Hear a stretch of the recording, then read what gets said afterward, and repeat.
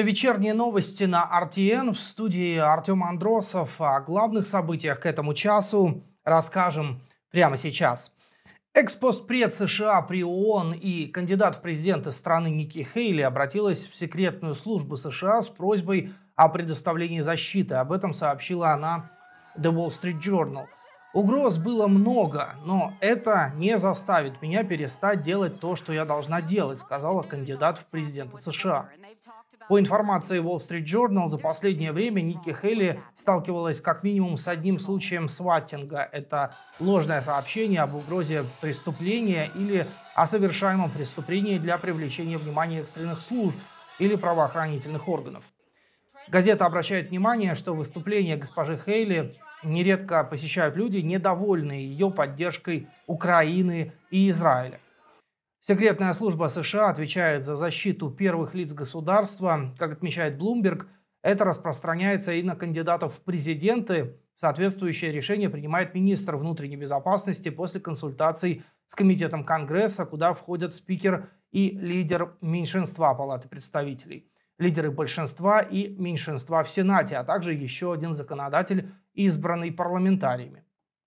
Чтобы получить такую защиту, кандидат в президенты должен соответствовать нескольким критериям. Учитывается, что кандидат публично заявил о выдвижении, предоставил соответствующие документы, и законодательство позволяет ему баллотироваться. Кандидат проводит активную агитацию на общенациональном уровне для избрания на заявленную должность. У него также есть предвыборный штаб. Секретная служба подтверждает факт поступления угроз в адрес кандидата, под которыми понимаются явные угрозы причинения телесных повреждений кандидату или признаки ненадлежащего поведения по отношению к нему, предполагающие возможность таких повреждений. При этом результаты опросов относительно популярности кандидата не имеют значения, равно как и то, выдвинут ли он фактически крупной партией. Защита предоставляется и независимым кандидатам без учета результатов опросов избирателей. Выборы президента в США пройдут в ноябре 2024 года, Хейли претендует на выдвижение от республиканской партии. Ее соперник – экс-президент страны Дональд Трамп. Против последнего в США возбуждено четыре уголовных дела. Ему уже запретили участвовать в праймерис в нескольких штатах. В Палате представителей Конгресса США был представлен законопроект, предусматривающий выделение 17 миллиардов 600 миллионов долларов в качестве новой военной помощи Израилю. По данным Комитета по ассигнованиям Палаты представителей, сумма 17 с лишним миллиардов долларов включает средства на пополнение израильских систем противоракетной обороны, закупку дополнительных передовых систем вооружений, производство артиллерии и других боеприпасов. Часть средств также будет использована для пополнения запасов американского оружия, поставленного Израилю после нападения Хамас на Израиль 7 октября. Спикер Майк Джонсон сообщил в письме, что предложенный комиссией по ассигнованиям законопроект может быть вынесен на голосование Палаты в полном составе уже на следующей неделе. Необходимость поддержки нашего ближайшего союзника и наших собственных сил в регионе как никогда актуальна, говорится в письме Джонсона к коллегам. Контролируемый демократами Сенат с рекомендацией не согласился и, как ожидается, представит свой законодательный пакет, в который войдет военная помощь не только Израилю, но и Украине. Ожидается, что этот же законопроект Сената будет содержать предложение по укреплению безопасности на границе США с Мексикой. Сенат также планирует включить в свой законопроект помощь Тайваню. Лидер большинства в Сенате Чак Шумер предпринял шаги, чтобы начать обсуждение этого многостороннего законопроекта на следующей неделе, а первое процедурное голосование должно состояться не позднее среды. Пока не ясно, будут ли крайне правые члены Палаты представителей возражать против финансирования Израиля без экономии этой же суммы в других статьях бюджета. Республиканцы настаивают на том, чтобы любая новая помощь Украине – сопровождалась новыми жесткими мерами пограничного контроля в попытке остановить поток рекордного количества мигрантов в США. Хотя Сенат планирует именно это и сделать, Джонсон уже заявил, что пакет предлагаемых Сенатом мер по охране границ недостаточен. Прежде чем будет оказана новая военная помощь Израилю или Украине, Палата представителей и Сенат должны принять один законопроект, а затем отправить его на подпись президенту Джо Байдену. Власти Орегона объявили в крупнейшем городе штата Портленде чрезвычайное положение сроком на три месяца из-за эпидемии фентаниловой наркомании, стало известно из заявления, опубликованного на сайте губернатора.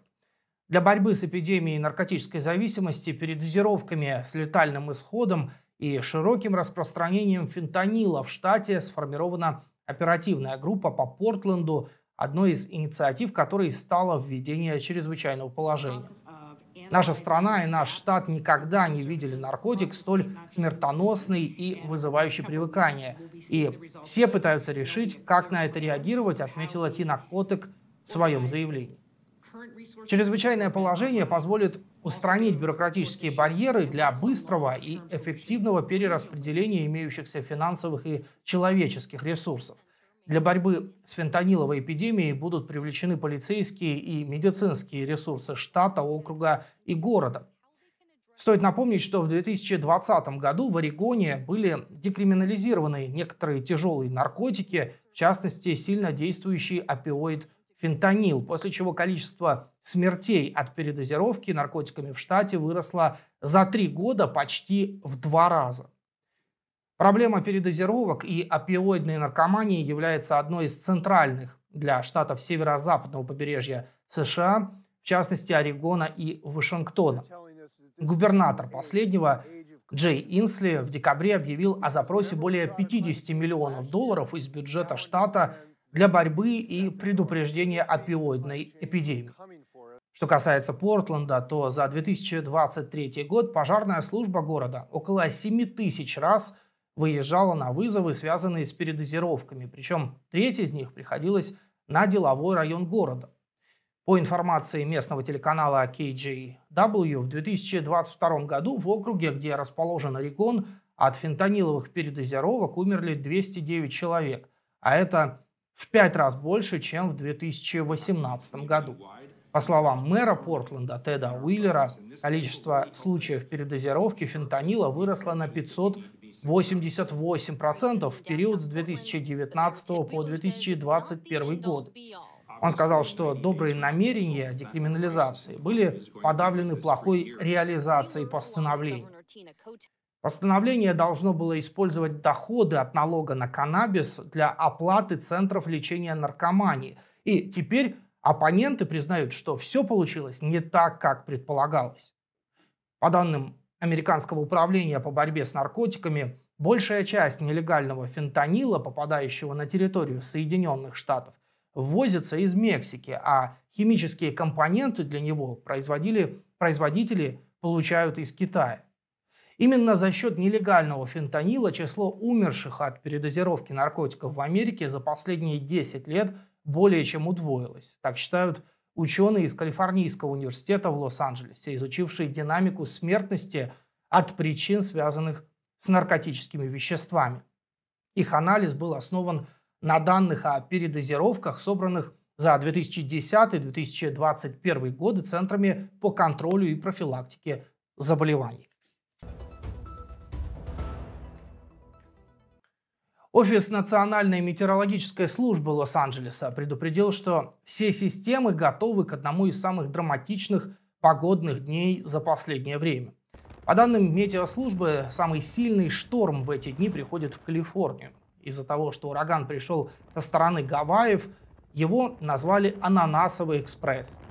Шторм накрыл Лос-Анджелес во время церемонии вручения премии Грэмми музыкальной индустрии. Губернатор Калифорнии Гевин Ньюсом объявил чрезвычайное положение в округах Лос-Анджелес, Ориндж, Риверсайд, Сан-Бернандино, Сан-Диего, Санта-Барбара и Вентура. Калифорния готова. У нас есть рекордное количество экстренных средств на местах, чтобы отреагировать на последствия этого шторма, сказал он. По данным портала Power Outage, к вечеру понедельника около 900 тысяч человек по всему штату остались без электричества. Официальные лица объявили предупреждение об ураганном ветре вдоль побережья, поскольку он повалил деревья, линии электропередачи по пути оставил затопленные сильным дождем участки. Национальная метеорологическая служба предупредила, что порывы ветра могут достигать 148 км в час от полуострова Монтерей до северной части округа Сан-Луис-Обиспо. Предупреждения о внезапных наводнениях были оглашены для некоторых районов округов Лос-Анджелес, Санта-Барбара и Сан-Луис-Обиспо. При этом синоптики ожидают почти непрерывные дожди в течение 48 часов. Людей пришлось спасать из автомобиля, застрявшего в паводковых водах Сан-Хосе и из лагеря бездомных на берегу поднимающейся реки. В районе залива Сан-Франциско скорость ветра в некоторых районах достигала 96 км в час, а в горах порывы превышали 128 км в час. По данным сайта отслеживания FlightAware, ветры вызвали многочасовые задержки в международном аэропорту Сан-Франциско, где 4 февраля были задержаны или отменены сотни рейсов. Школы в округе Санта-Барбара были закрыты 5 февраля. Предупреждения об эвакуации из-за возможных оползней действовали в горных районах и каньонах округов Монтерей, Санта-Барбара, Вентура и Лос-Анджелес, которые ранее пострадали от лесных пожаров. Сейчас на RTN небольшой перерыв, уходим на рекламу, после которой вернемся и продолжим выпуск.